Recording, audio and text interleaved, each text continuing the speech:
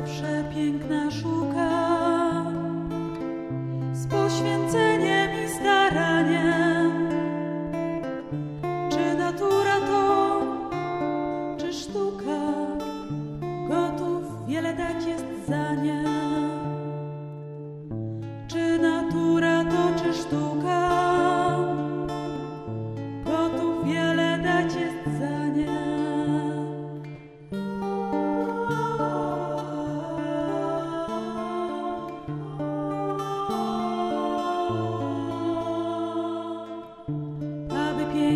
cieszyć oko,